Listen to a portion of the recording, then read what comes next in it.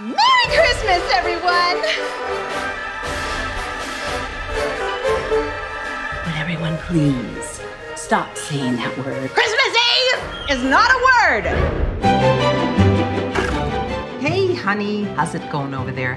If you aren't too busy, would you mind explaining to me why your brother is putting a mermaid in my swimming pool? Mom, I promise I will explain everything.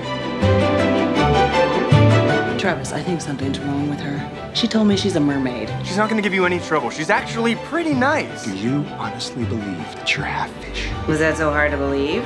Travis goes to the bank, $50,000. You, Miss Mermaid, are all types of strange, but I still like strange.